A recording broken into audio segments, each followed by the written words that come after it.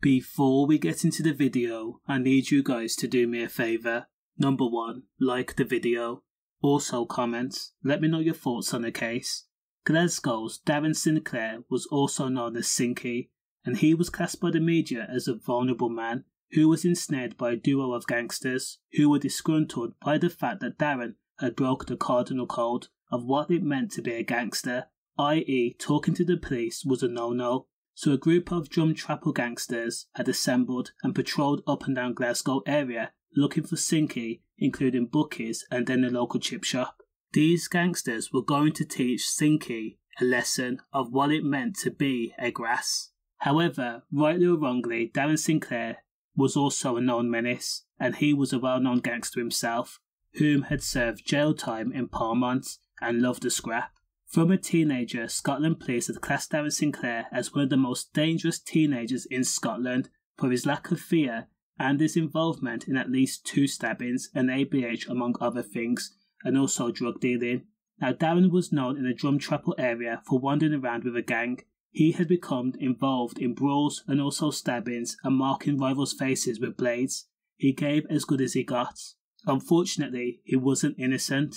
He also made a lot of enemies, as a lot of gangsters were vying for control of the drug flow in the Drumchapel and its surrounding areas. By February 2018, Darren was firmly involved in a tit for tat action in the Drumchapel area. On one side, there was Darren and his gang, and the opposition were known rivals 50 year old William Steele and 23 year old Jordan Steele.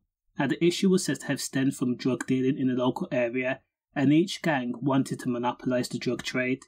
Now, windows had been smashed previously, and both men had promised.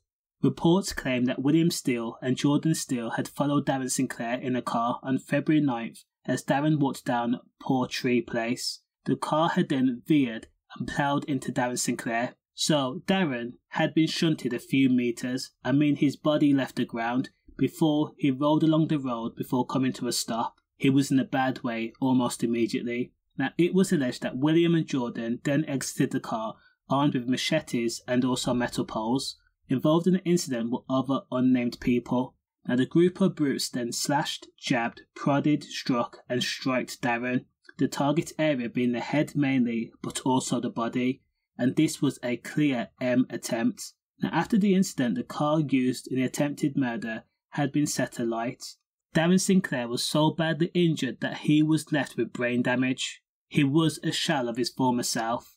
Now, after coming out of hospital and now suffering from severe brain damage, Darren's family moved him to England in order to get away from the brewing trouble. Now, there were rumours circulating around Scotland that a bounty of £30,000 had been put on Sinky's head. His home had also been graffitied with the words grass and snitch because Darren had allegedly talked to the police about the previous M attempts he also talked to the police about the graffiti.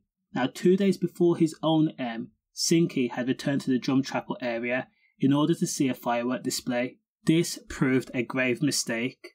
27 year old Darren Sinclair was witnessed being in the bookies when 35 year old Joseph McIntyre had knocked on the window, an apparent warning to Sinky. Now, it was said on November 6th, after going to the firework display, he had been lured to the wasteland by Invercanny Place by Joseph McIntyre and 21 year old Robert Dunn. Now, once there, Darren was surrounded and told that he was a grass and this is what grasses get. Darren was pummeled, he was struck repeatedly in the face, and then when he was on the ground, he was slashed, target area being the face, and then he was fatally stabbed upwards of 10 times at roughly 12.30am only when Darren Sinclair was no longer screaming for help, or whimpering, or crying, or moving, did the onslaught stop. Tragically, Darren was found by a passerby, and it was already too late because he was already pronounced dead. Now, in the aftermath of the incident, Joseph McIntyre went into hiding at a relative's home in the Highlands. He also grew a beard and changed the colour of his hair. He was ultimately arrested, and when confronted with the news that Darren had died, Joseph and Robert had exclaimed, Good, that's what grasses get. Now, it was alleged that Joseph also told a 10 year old girl what had happened, and she actually told the police. Now, forensic evidence also linked both Darren Dunn and Joseph McIntyre to the crime.